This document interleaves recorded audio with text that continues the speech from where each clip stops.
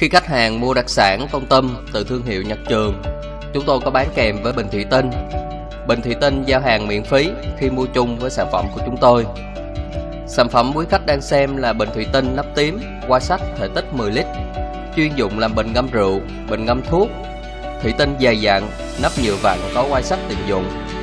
Ngoài ra bình còn có vòi để rót rượu trong bình ra cốc tiện dụng.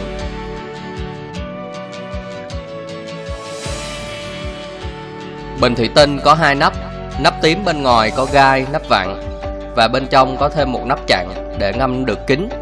Cái nút phía trên có lỗ dùng để cắm bơm hút rượu tiện lợi. Hoặc khi quý khách dùng loại có vòi thì rượu được rót ra từ vòi tiền dụng.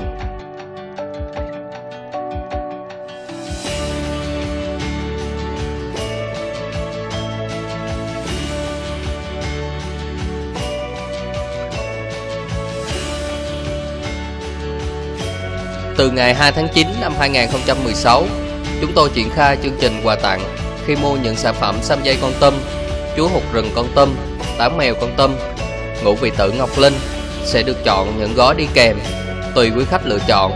Trong đó có 50g xăm dây con tâm, 200g chúa hụt rừng, 200g táo mèo, 100g ngũ vị tử để có thể uống nước hoặc ngâm rượu chung. Ngoài ra quý khách có thể lựa chọn 30g hai loại tiêu rừng mà chúng tôi đang cung cấp một loại có mùi xả và mùi chanh, dùng trong những bữa tiệc nướng, thơm phức và hấp dẫn.